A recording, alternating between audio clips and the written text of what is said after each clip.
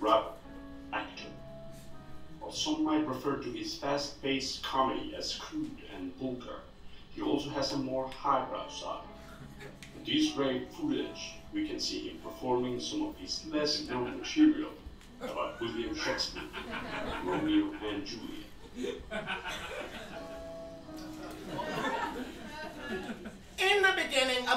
White people is fighting because somebody done bit their thumb. Now, I don't know what the issue is.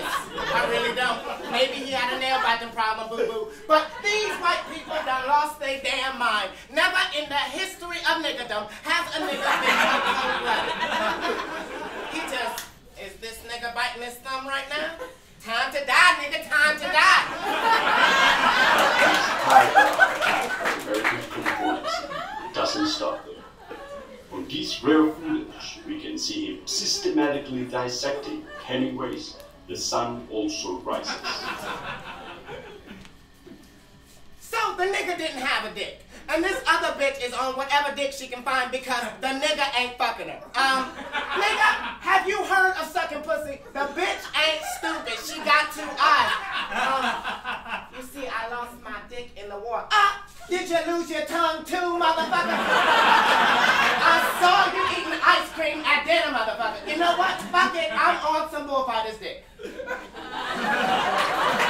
And all these rare performances, none is less known as his insightful opinions on Swan Lake.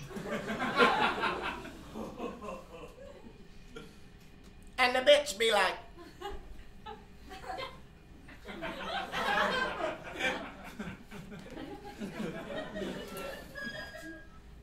nigga be like, I'm fucking a swan, I'm fucking a swan, I'm fucking.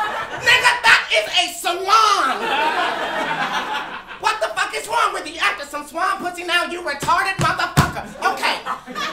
Use a prince, okay? You could have barbed wire on your dick and a bitch would be like, I can't wait to suck his dick. Thank you, you all bad. I'm Katt. Good night.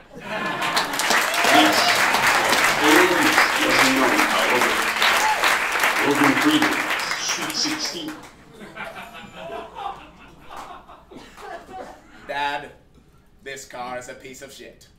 I wanted a Lexus.